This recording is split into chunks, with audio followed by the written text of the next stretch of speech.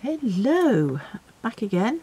Um, been a while, but uh, life has been a bit of a catch up last couple of weeks, um, doing things that I needed to do. So uh, this is my first opportunity.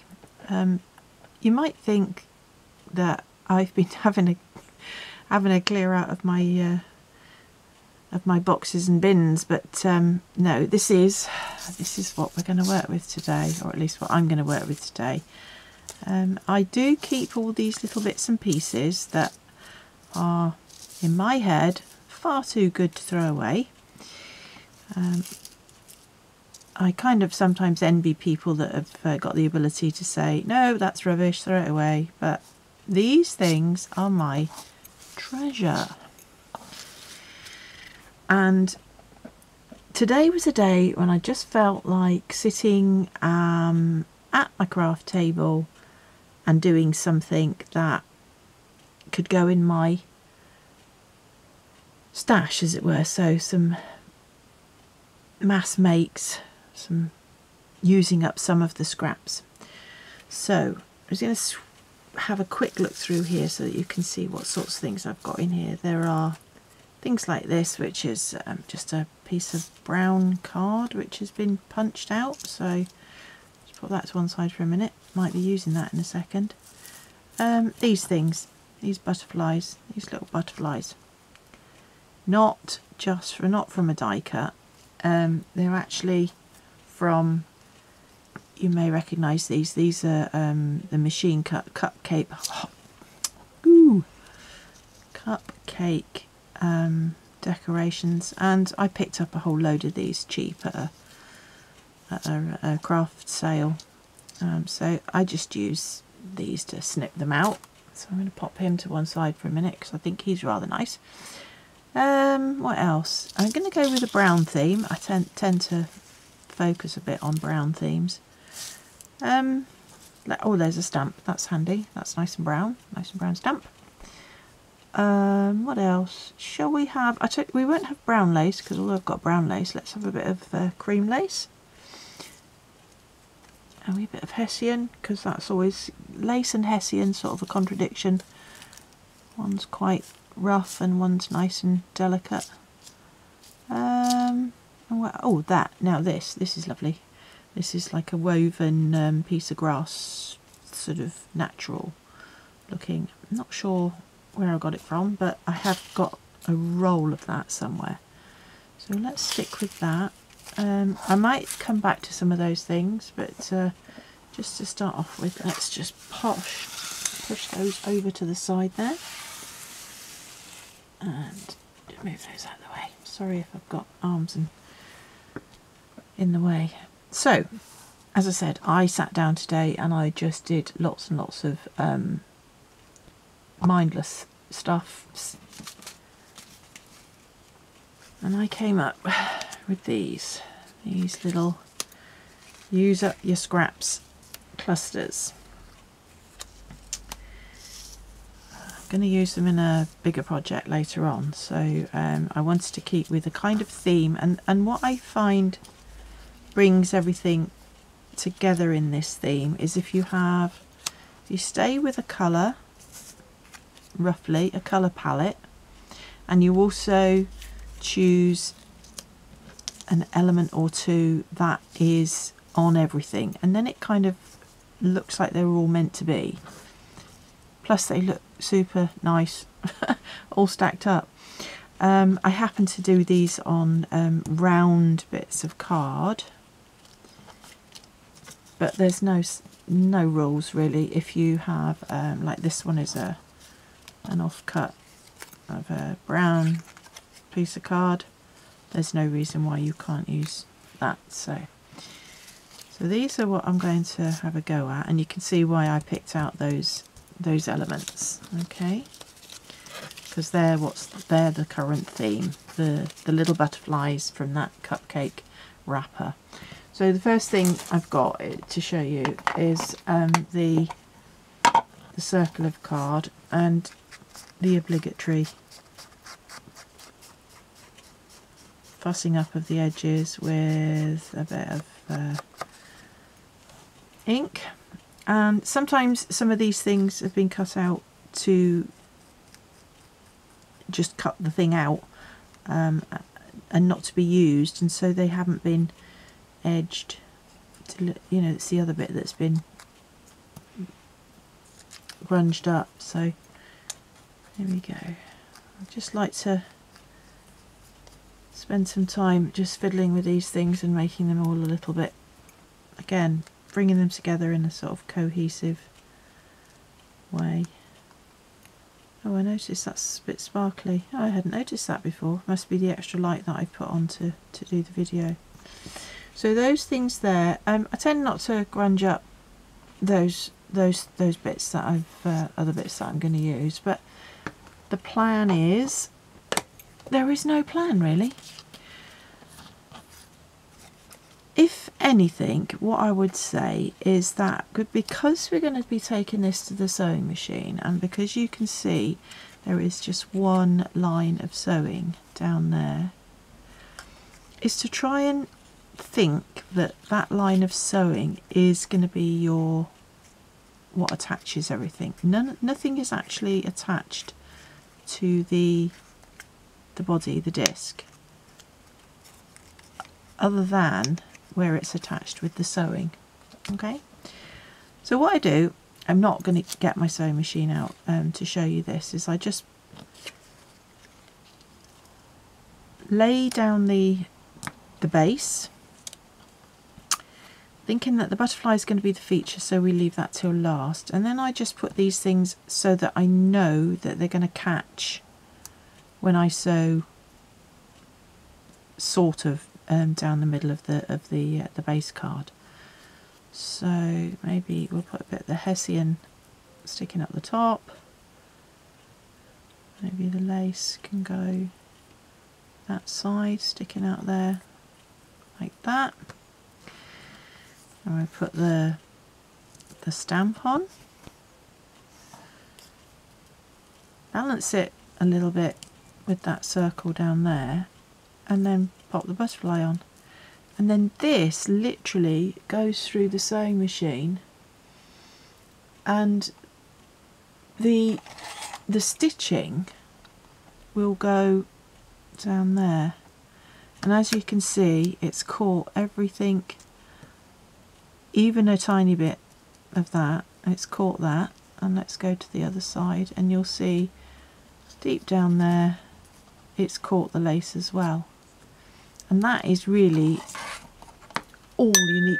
Oh time out. I just knocked the uh, the lampshade.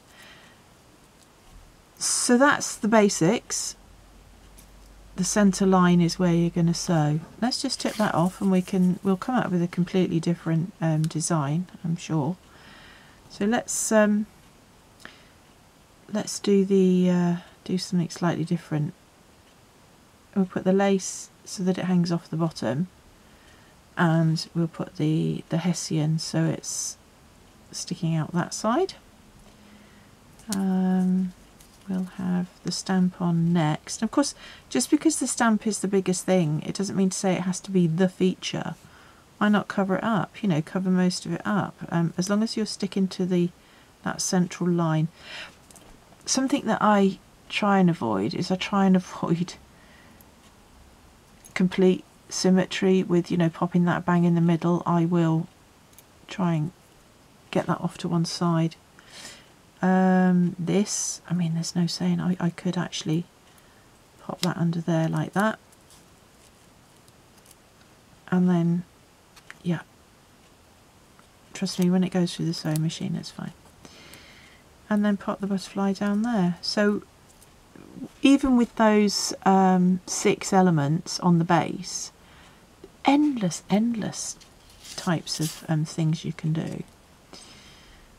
Let's try, I mean, put the, put the stamp right at the bottom. Let's straighten him out again. Put him there. Put that down there. Have the lace there. Put your circle on and do that. And really, the possibilities for this are endless. So you might see with the the ones that I'd finished, the ones that I've sewn, I um, I've got some brads on there. This one's and also for any of you that do um, you know you have these little gems you can stick those on afterwards but you can see the idea is is that the line of sewing goes down the middle of the back piece and just captures everything which I think is uh, a good place to start with your circles. Now once as I said showed you at the beginning I've done um, odd shapes. But again the principle is pretty much the same is to check your center line where you're going to put your one row of stitching. And it doesn't matter actually if you don't if you do you know you could do two lines of stitching it doesn't matter It's still a, a great cluster um, and uh, if it if when you come to take it out of the sewing machine it hasn't captured those bits we've still got trusty glue. I noticed that this somehow this circle hadn't uh, captured so I just stuck it on afterwards with a bit of glue. Doesn't really matter does it? So those are the that's the brown theme and of course me being me I did a green theme too. These ones are based on a on a longer because they're going to go into a, a different project that has more height. So I wanted some longer elements. So again I did the same thing. I went into my box of um, scraps and um, cut a little baseboard I mean this one this one I used actually ended up using the baseboard as part of the the top rather than the bottom. But there's the greens. Yeah and I didn't stop there. I also went a sort of um, burnt orangey colour. These ones are incredibly random and not very um, centered, but you know they they're going to work somewhere. They can go um, across a page, across the top of a page, down the side.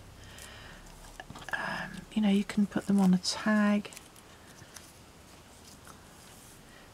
and I also find that I get to use things that I I don't normally use so these um, paper flowers oh, here's a good case in point with not catching. This didn't catch under there did it? So it could become it could make that element longer because it was meant to be caught under there. But yeah. Um, and of course, um, there's also the blue bundle. So these were done with blue. It's actually a sort of a very lovely blue. This this lace. I I don't. I think I, t I think I dyed it with some um, with some Brusho paint. And the other thing that's in there is when you when I've ripped up a book so this is the this is the spine of a book that I took the pages out of and, and I find that this cloth is absolutely super for going on this sort of thing adding a little bit of um, extra texture. So that's off um, a book. And there's look there's the book head uh, heading tape from there from the spine. Yeah, I use things that I glean from the books as well. Oh, there's a couple of bits of um, where I'd cut some felt and with some pinking shears. Oh yeah, when your lace doily, when your doily splits, when you, this is what I was doing yesterday because it was such a lovely sunny day.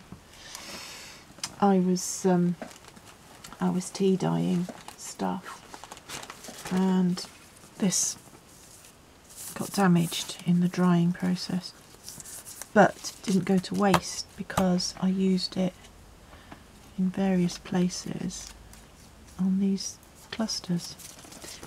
Well, so from the blue team, the orange team, the green team, and the brown team. Let's uh, leave it there, shall we?